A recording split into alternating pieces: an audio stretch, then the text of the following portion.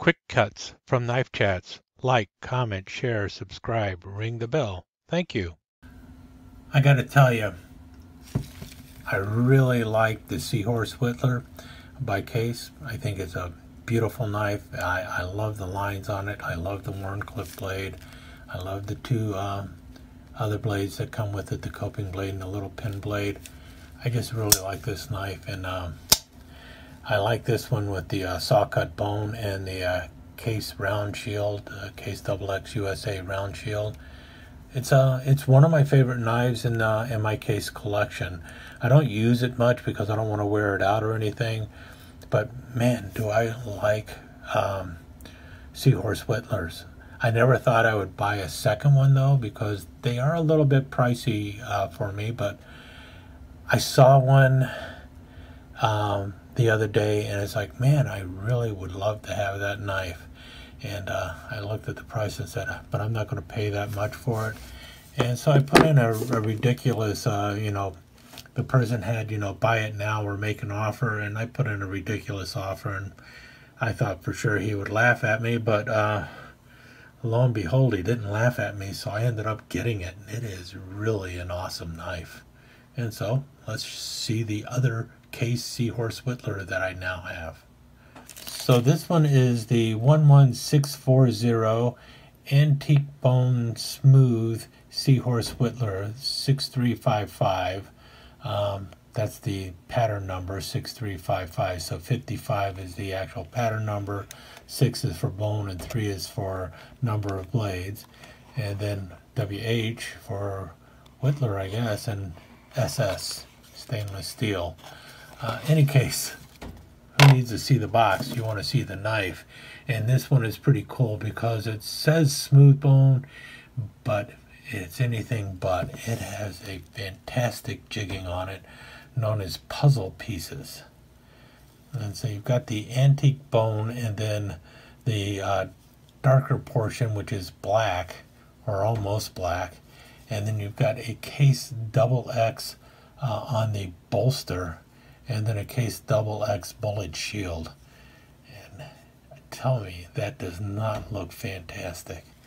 The uh, Fit and finish is about typical of what you're finding on case. Actually, this one's a little bit better than uh, some of the newer ones, but uh, this is all nice and smooth. Actually, the uh, the pins and everything, the bolsters, you got all my fingerprints on them for sure. So they are well polished, and I like that double X cut into them, just on one side, typical.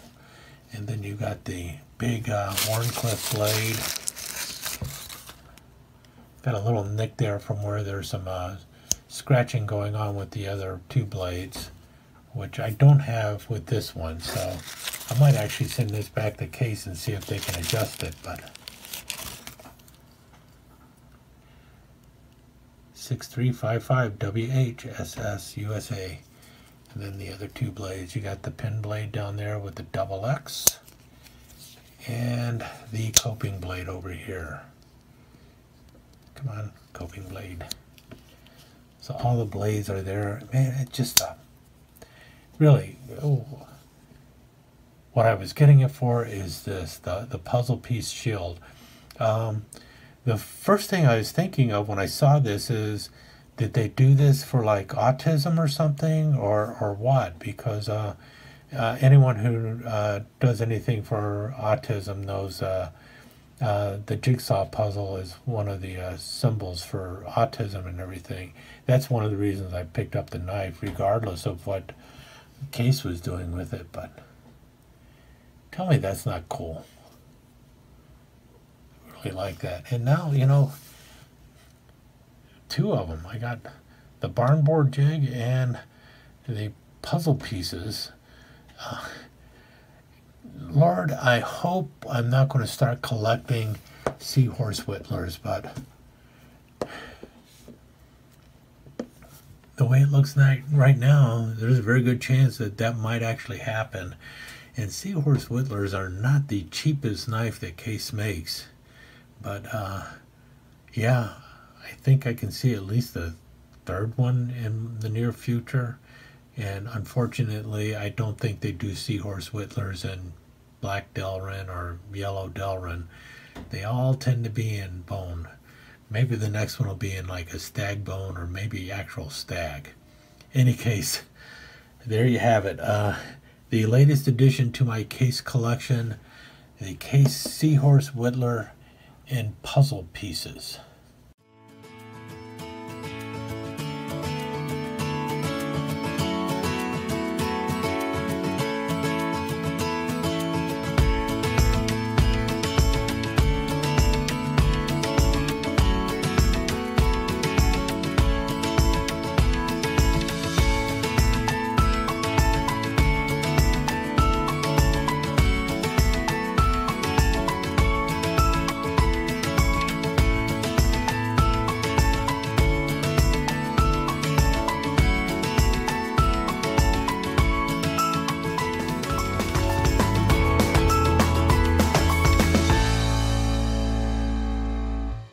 And that's another wrap for a quick cut.